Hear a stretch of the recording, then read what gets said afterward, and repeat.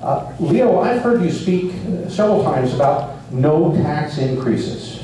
Pretty firm on that. But in these times of declining revenue, how do we support government services unless we can raise some kind of taxes or fees? Well, it's a, it's a common misconception that was, was proven most aptly in 1960 by, by uh, uh, President Kennedy, that when you increase taxes, particularly on uh, entities that employ folks, your revenues actually decline.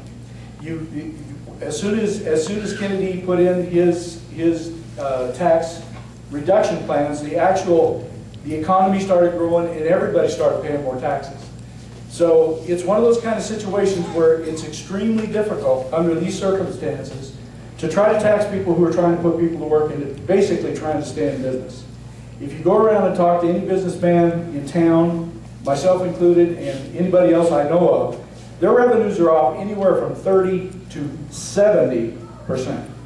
If you add an additional tax to somebody, for instance, the most onerous one would be where, whereby you, you tax the person for hiring somebody. That's what we do in this state. If you hire people, you have to pay a little extra tax for it. Doesn't sound like much, but by the time you get done with everything that everybody charges you, it winds up being a lot. So I'm, I, I don't think we have a tax problem nearly as much as we have a spending problem.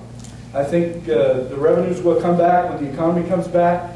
So we've got to let the people with the guts, determination, and vision and hard work take care of that angle. And I see my sign back there, so I get to quit now. Okay.